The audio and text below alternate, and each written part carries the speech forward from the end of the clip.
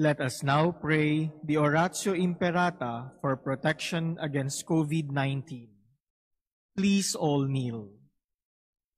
Merciful and compassionate Father, we come to you in our need to seek your protection against the COVID-19 that has disturbed and claimed many lives. We ask you now to look upon us with love and by your healing hand, dispel the fear of sickness and death, restore our hope, and strengthen our faith. We pray that you guide the people tasked to find cures for this disease and to stem its transmission. We thank you for the vaccines developed, made possible by your guiding hands. Bless our efforts to use these vaccines to end the pandemic in our country. We pray for our health workers that they may minister to the sick with competence and compassion. Grant them health in mind and body, strength in their commitment, protection from the disease. We pray for those afflicted. May they be restored to health. Protect those who care for them. Grant eternal rest to those who have died. Give us the grace in these trying times to work for the good of all and to help those in need. May our concern and compassion for each other see us through this crisis and lead us to conversion and holiness. Grant all this through our Lord Jesus Christ, your Son, who lives and reigns with you in the unity of the Holy Spirit, God forever and ever. Amen. Amen.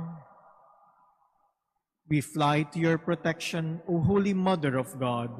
Do not despise our petition in our necessities, but deliver us always from all dangers. O glorious and blessed Virgin. Amen. Our Lady, health of the sick. Pray for us. Saint Joseph, Pray for us. Saint Raphael the Archangel, Pray for us. San Roque, Pray for us. San Lorenzo Ruiz, Pray for us. San Pedro Calungsod. Pray for us. In the name of the Father, and of the Son, and of the Holy Spirit, Amen. the Lord be with you. And with your spirit. My dear brothers and sisters, let us beg God's forgiveness for all our sins. Let us entrust ourselves to God's merciful love. Lord Jesus, you give us new life. Lord, have mercy. Lord, have mercy. Lord Jesus, you forgive our sins. Christ, have mercy. Christ, have mercy. Lord Jesus, you feed us with your body and blood. Lord, have mercy. Lord, have mercy. May Almighty God have mercy on us, forgive us our sins, and bring us to everlasting life. Amen. Let us pray. Grant us, we pray, O Lord our God, the constant gladness of being devoted to you, for it is full and lasting happiness to serve with constancy the author of all that is good, through our Lord Jesus Christ, your Son, who lives and reigns with you in the unity of the Holy Spirit, God forever and ever. Amen. Please be seated. A reading from the book of Revelation.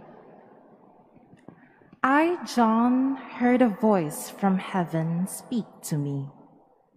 Then the voice spoke to me and said, Go take the scroll that lies open in the hand of the angel who is standing on the sea and on the land. So I went up to the angel and told him to give me the small scroll. He said to me, Take and swallow it. It will turn your stomach sour, but in your mouth it will taste as sweet as honey. I took the small scroll from the angel's hand and swallowed it. In my mouth it was like sweet honey, but when I had eaten it, my stomach turned sour.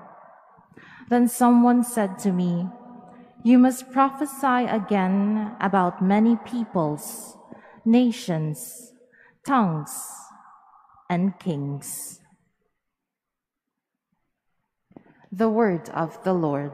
Thanks be to God.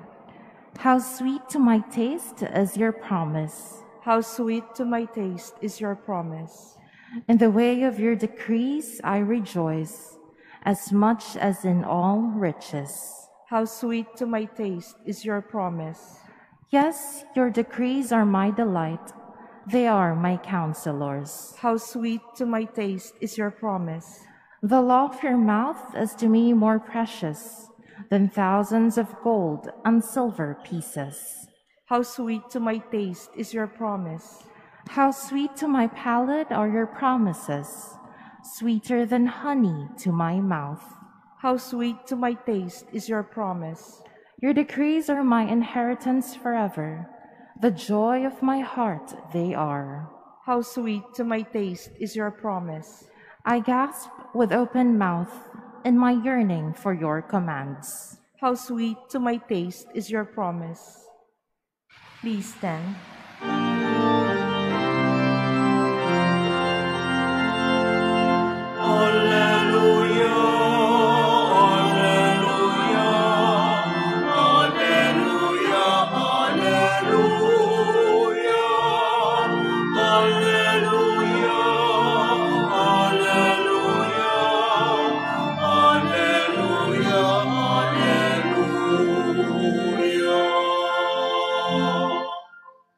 My sheep hear my voice, says the Lord. I know them, and they follow me.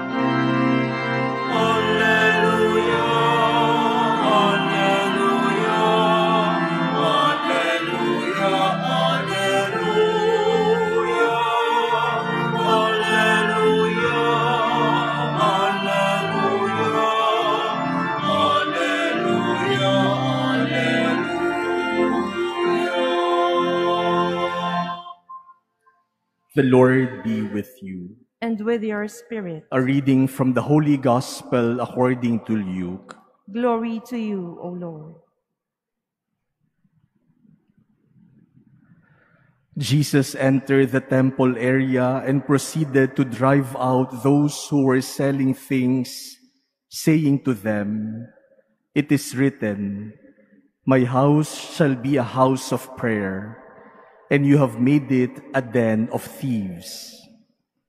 And every day he was teaching in the temple area. The chief priests, the scribes, and the leaders of the people, meanwhile, were seeking to put him to death, but they could not find no way, but they could find no way to accomplish their purpose because all the people were hanging on his words.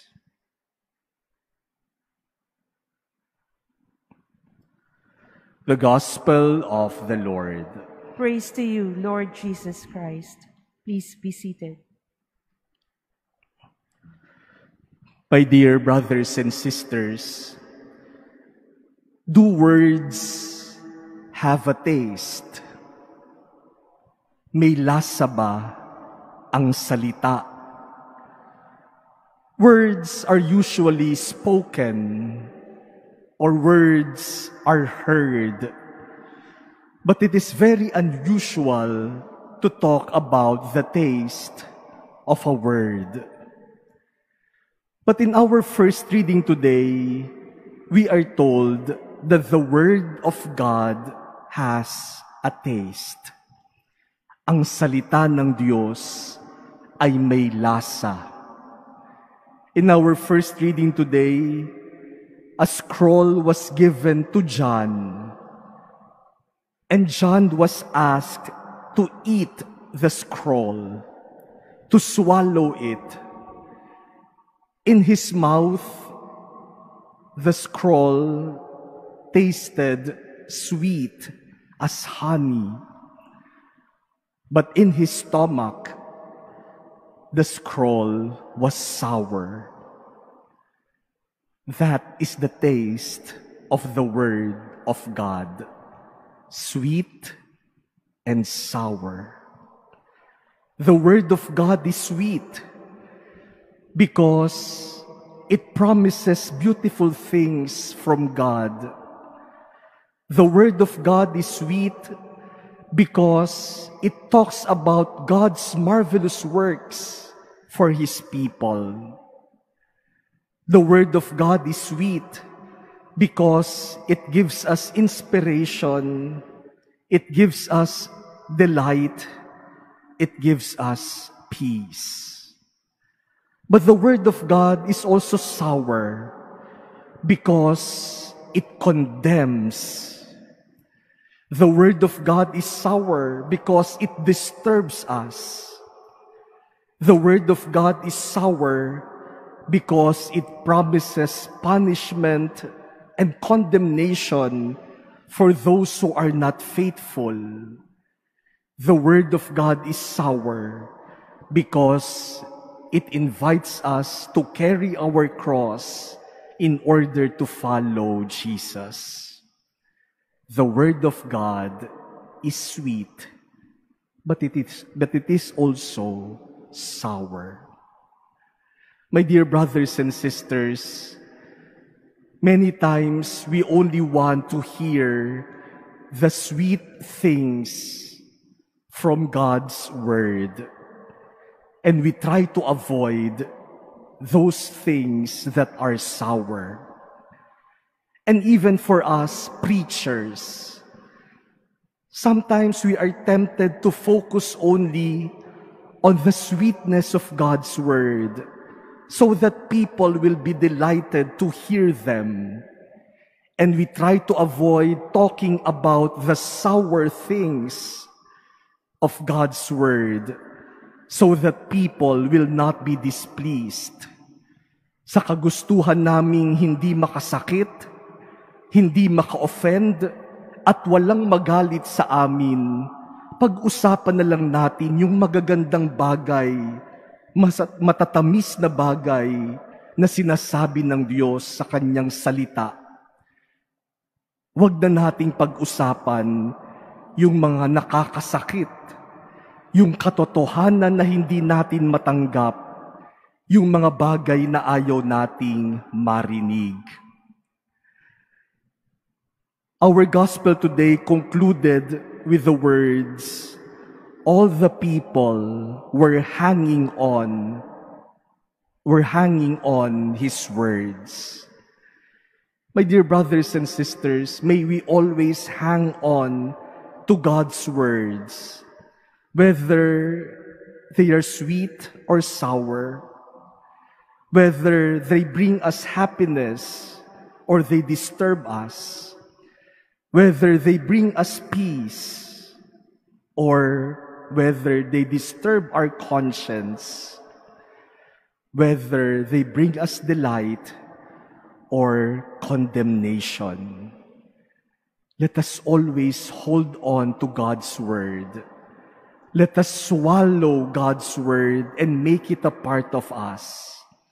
And when the word of God becomes part of us, becomes part of our lives, then even the sour will become sweet.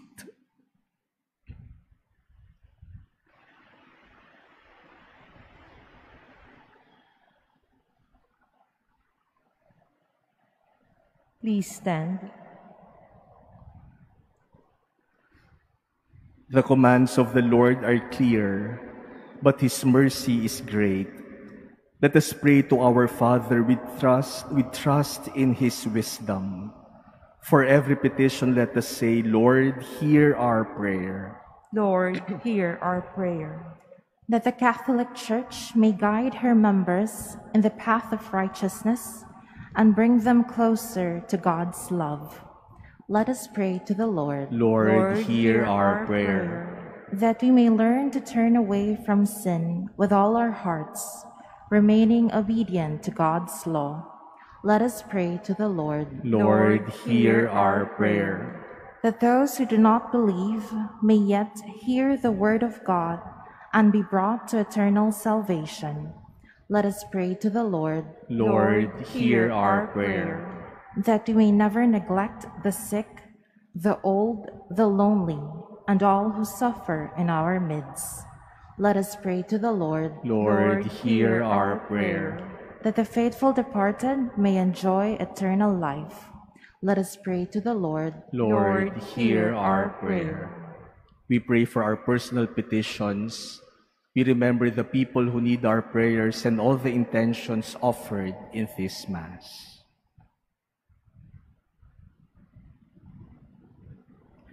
Heavenly Father, you search the heart of every man, and you know our innermost thoughts. Strengthen our hearts for true worship and our hands for more willing service to others through Christ our Lord. Amen. Please be seated.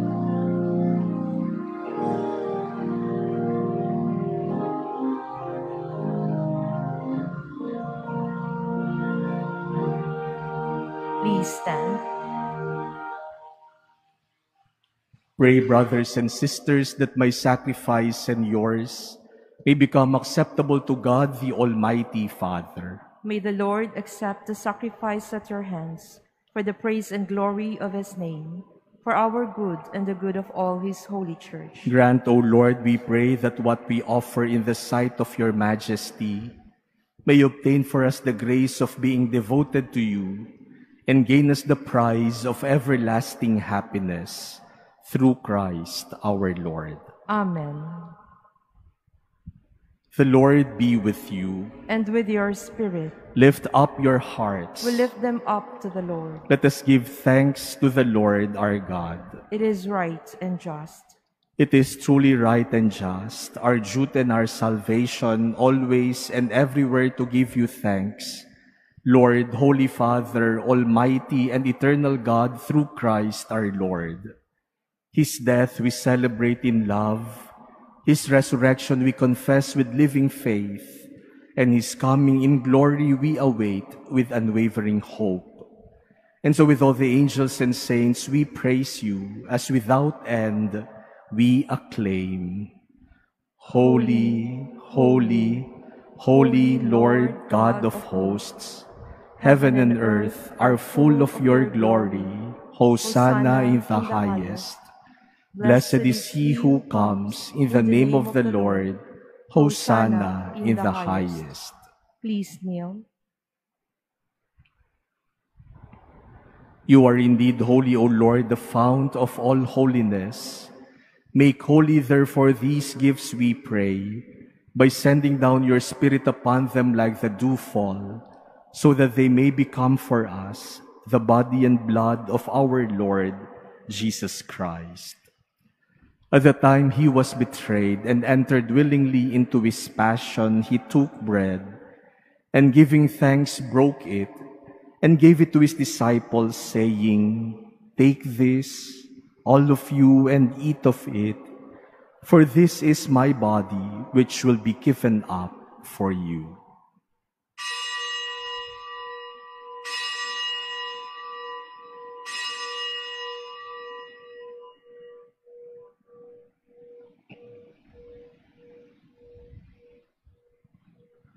In a similar way, when supper was ended, he took the chalice.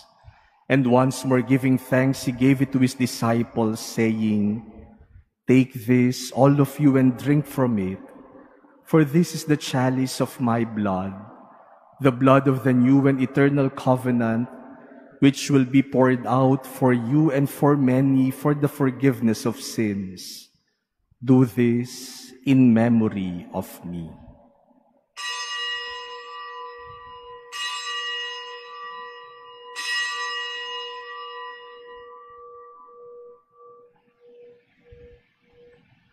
Please stand.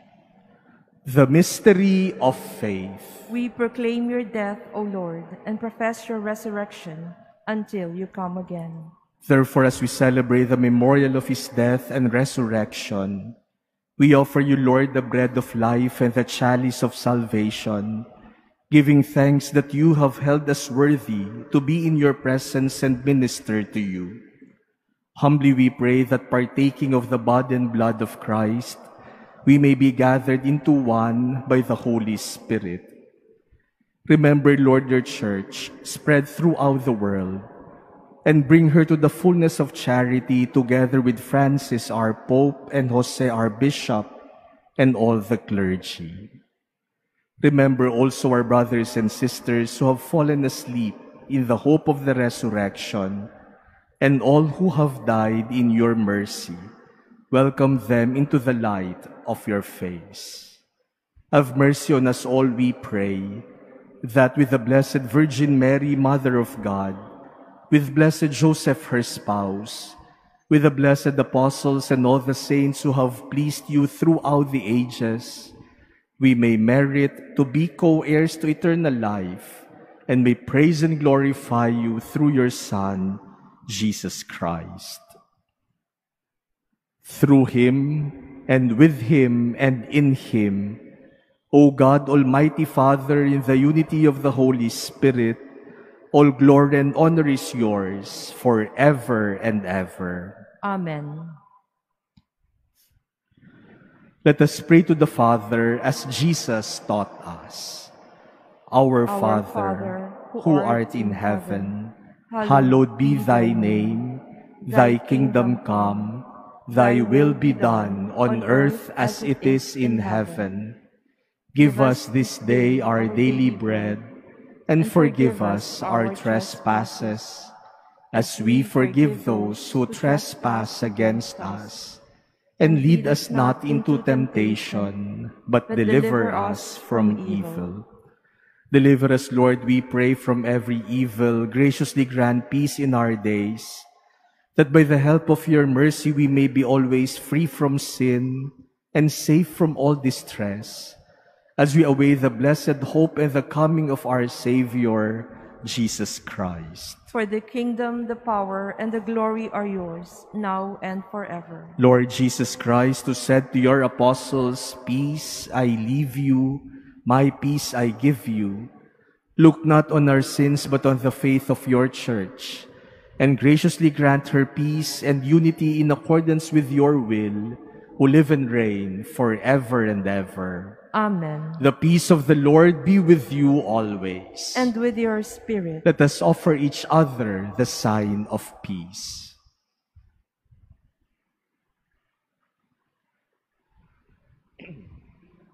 Lamb of God, you take away the sins of the world. Have mercy on us. Lamb of God, you take away the sins of the world. Have mercy on us. Lamb of God, you take away the sins of the world. Grant us peace. Please kneel. Behold Jesus, the Lamb of God. Behold him who takes away the sins of the world. Blessed are those called to the supper of the Lamb. Lord, Lord, I am not worthy that you should enter under my roof, but only say the word, and my soul shall be healed. The body of Christ. Amen.